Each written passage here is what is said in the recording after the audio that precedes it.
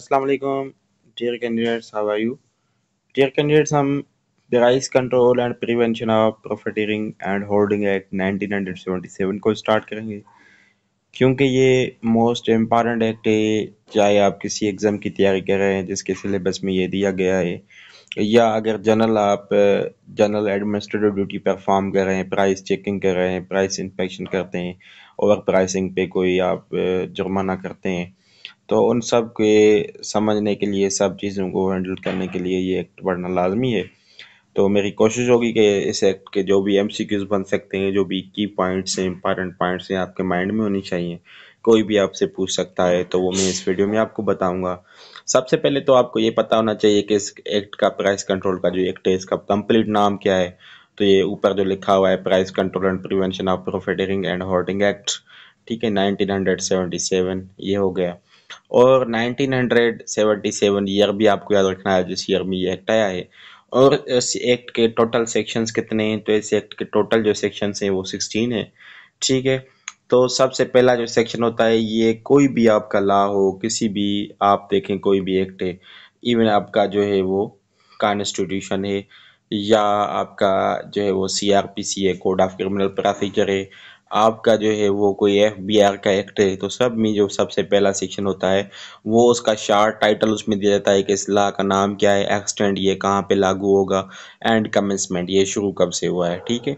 Second जो होता है, वो ऑलमोस्ट एक्ट्स का जो सेक्शन होता है, या रूल होता है, जो भी कहते हैं तो वो डेफिनेशंस के हवाले से होता है। उसमें डेफिनेशंस जो भी लामी टर्म्स यूज़ किए गए हैं, वो आते हैं। उसके बाद इसमें जो थ्री नंबर सेक्शन है, वो है पावर्स टू मेक आर्डर्स मतलब किसके पावर्स हैं कोई आर्डर इशू करने के। उसके बाद डेलीगेशन ऑफ़ पावर्स किस किस को पावर कौन दे सकता है? नंबर फाइव पे effect of orders in consistence with in other enactments ठीक है, इसको भी डिस्कस करेंगे। सेक्शन नंबर सिक्स है फिक्सेशन ऑफ़ प्राइसेस प्राइसेस कौन फिक्स करेगा, कैसे फिक्स होंगी? नंबर सेवन पे जो सेक्शन है, उसमें पेनल्टीज हैं। कि कोई बंदा अगर किसी जो है वो सेक्शन की वायलेशन करता है तो उसको कितनी पेनल्टी लगेगी? उस पर कितना जुर्माना होगा, उसको कितनी सज़ा मिलेगी, ये लिखा गया है। सेक्शन नंबर एट में है अटैम्प्ट एंड अबेटमेंट ठीक है? इसको भी हम डिटेल में डिस्कस करते हैं। नंबर नाइन पे है ऑफेंसेस बाय कॉरपोरेशन जो भी कॉरपोरेशन के ऑफेंसेस हैं, उसको डिस्कस किया गया है। नंबर टेन में फॉल्स स्टेटमेंट है। अगर कोई फॉल्स स्टेटमेंट कहता है रॉन्ग इन्फॉर्मेशन देता है तो उसके लिए क्या पेनल्टी है, क्या होगा? ठीक है नंबर इलेवन पे है power to try offences summarily ठीक है ना? कि ऑफेंसेस की जो समरली ट्रायल होता है, उसका प्रोसेस पावर्स क्या है? Power to amend schedule twelve number section में ये के शेड्यूल को अमेंड करने का पावर किसके पास होता है? नंबर थर्टीन है presumptions as to order number fourteen पे burden of proof in certain cases number fifteen पे protection of action taken under act and number sixteen में क्या है?